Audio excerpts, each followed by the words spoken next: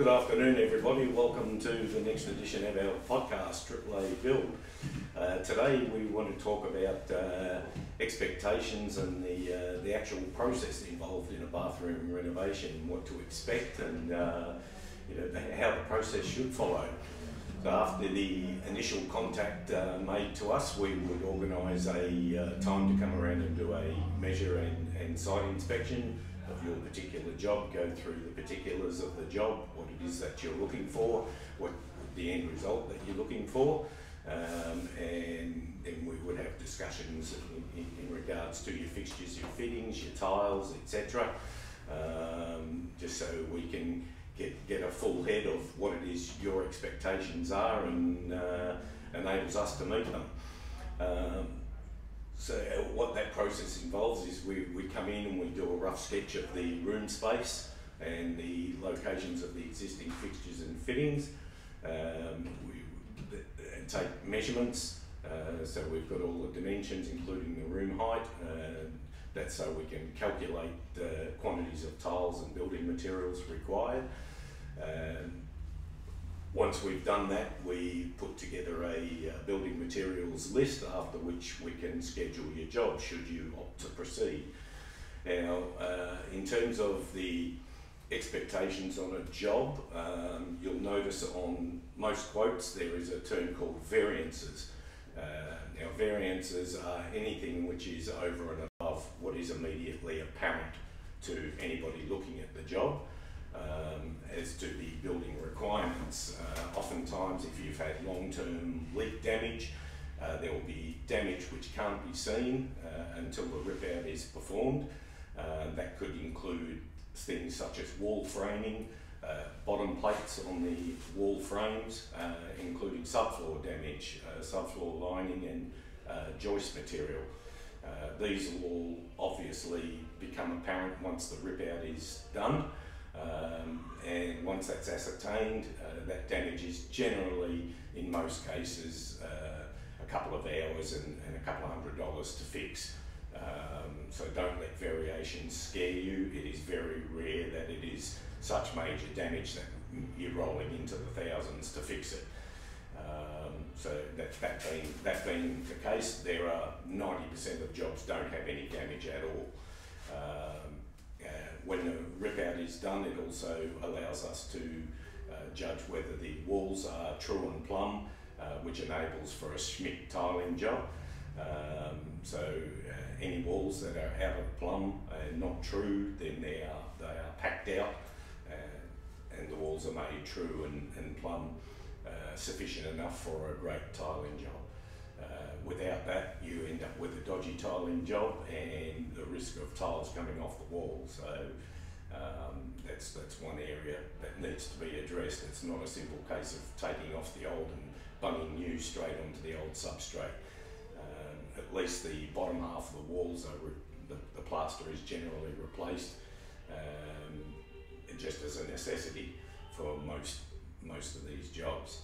Uh, once the rip out is, is done and the, it's, the framing's all been straightened, then generally the plumbers and electricians will come in and rough in any cabling and piping that they need to do.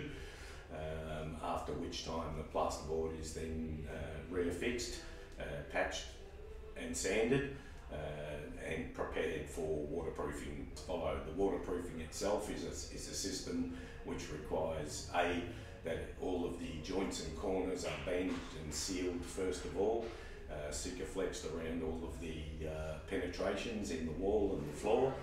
Um, and then there is a primer and two coats of waterproofing applied before anything else happens.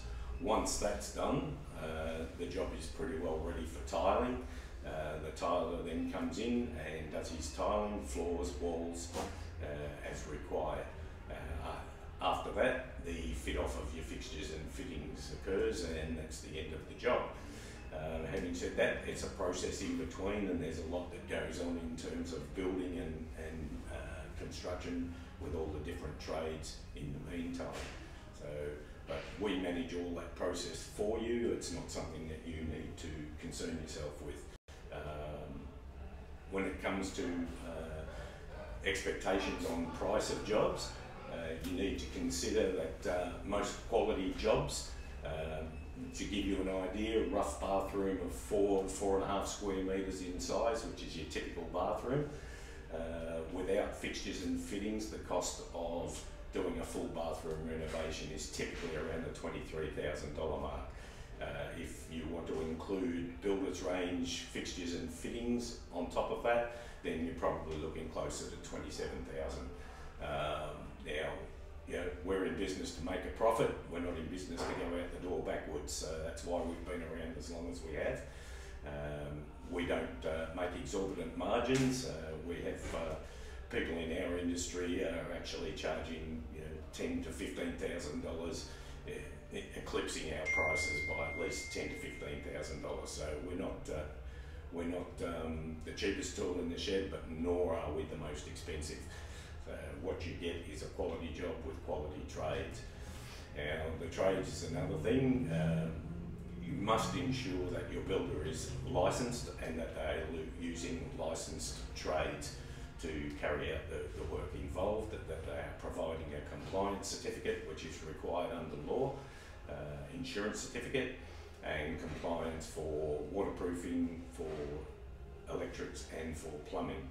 Uh, so there are the, the main things. Uh, if you've got people quoting you $15,000 for a bathroom, then there's a number of things happening. They're either not licensed, using unlicensed trades, not providing insurance, and not providing your certificates of compliance. Um, in this day and age, uh, particularly in the last two years, where we've had exorbitant rises in, in both materials and trades labour costs, uh, to do a bathroom for $15,000 is just uh, ridiculous.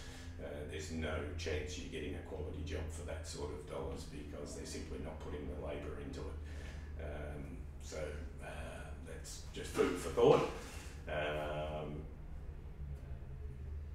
sorry, just reading another message that's come in. Um, yeah. So we had somebody ask about um, you know following up on the job. So the person quoting your job is the person quoting your job the person that's able to make decisions, or are they just a salesperson selling you the job and then disappearing? Uh, I myself come out and do these quotes personally, and I deal with your job right from start to finish. Any queries come straight through me, so uh, the, the buck starts and ends with me. The trades and the site supervisor uh, will be in full communication with you through the whole job. You will know each day who is coming, what time they're coming, and what to expect for the next day's work. So we don't leave you uh, hanging and wondering what's what's going on. We allow you to be able to plan your day. So uh, communication is absolute key, uh, and that's why we have such a great rapport with our clients and uh, great results from it. It's extremely important. We're not just selling you a job and then disappearing and leaving you in the lurch, not knowing what's what's happening from one day to the next. Uh, our jobs are generally continuous and from start to finish. Uh, there will rarely be a day where we're not on site. Uh, if that happens, you will be informed about it prior and you will know exactly where you're at. Uh, so that's it. Uh, look, that's a it's a lot of information, but it's important information and things that you should know, things that you possibly aren't being told by people who are quoting your job.